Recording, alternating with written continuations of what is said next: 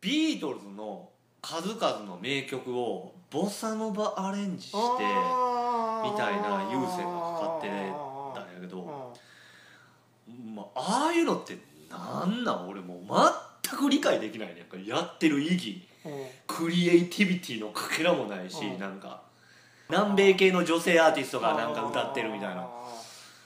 全然もうほんまヘドが出るわああいうの。うん。聞ける？全然聞けるよ。むしろ。あ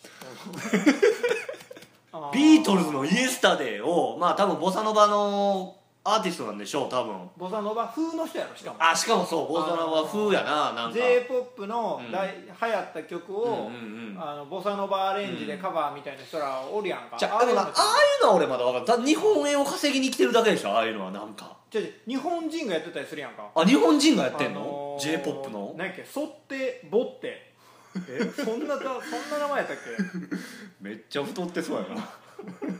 そってぼってかいけなんかそんなんちゃうかったっけ？おえそってなお追ってぼってそってかいな。そってボッセや。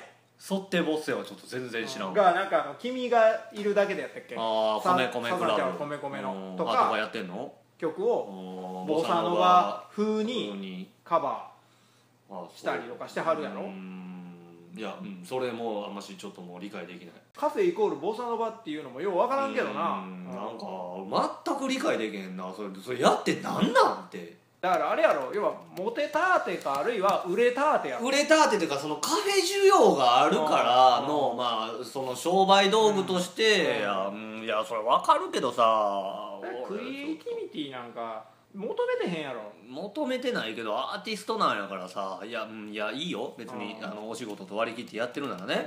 ううん。そのビートルズのボサノバカバーするような南米女性アーティストみたいなのは一緒や。ろ売れたーてやろ。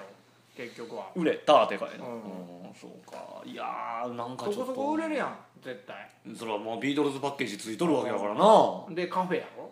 あフェーカーや。いつの時代もフェーカー大好きやからな、うん。女の子はなそんなもんなんか家をちょっとカフェ風にしたい子とか家でもかけてるやろ、うん。そうやな。だって俺この前の結婚式の、えっと2時間のムービーをまた作ったんよ俺。うん。の人が奥さんとか奥さんのお友達とかを「あめあめやんありがとう」っつってうん。なんかその、まあ、ここ広いからうんピザとかお寿司とかでも取ってちょっとみんなで打ち上げしようみたいなんで女の子若い女の子結構いっぱい来てたんやけどもう入った瞬間「えー、めっちゃ可愛いカフェみたい」って言ってたねこの家。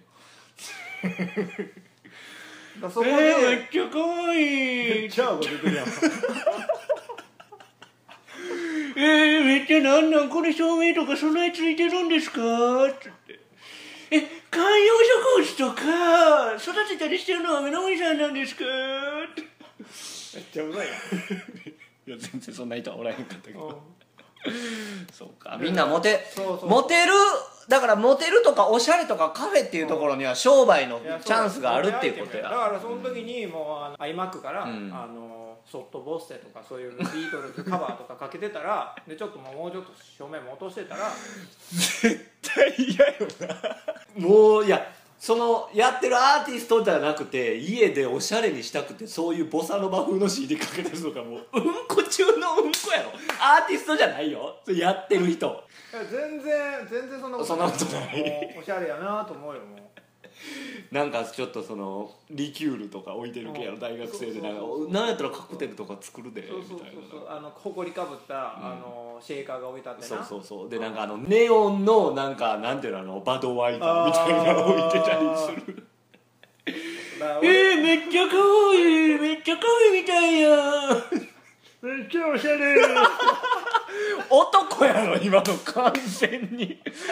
なせばなる。なさねばならぬ何事もやんか。お誕生日